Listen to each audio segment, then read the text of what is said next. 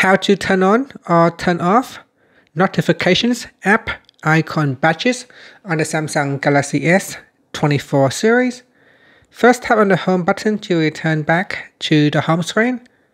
Then on the home screen, swipe down at the top and then tap on the settings icon. Next, in the settings page, we scroll down and then tap on notifications. Next, tap on advanced settings. And in here, we scroll down and then tap on app icon badges. Tap on the toggle button to turn on or switch it off. You can also tap on the left hand side panel that will go into the next setting page. In here at the top, you can tap on the toggle button to switch it off or turn it on.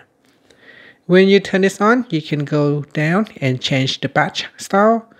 It can be displayed as number or as a dot.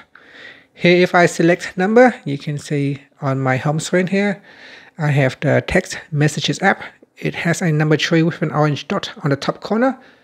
This indicates that I have three uh, notifications or three messages that I haven't read.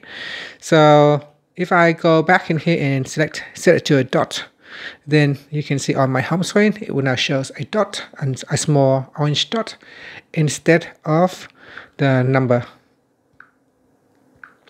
And that's it.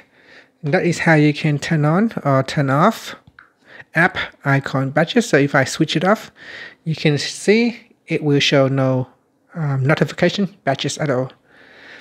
And that's it. Thank you for watching this video. Please like and subscribe to my channel for my videos.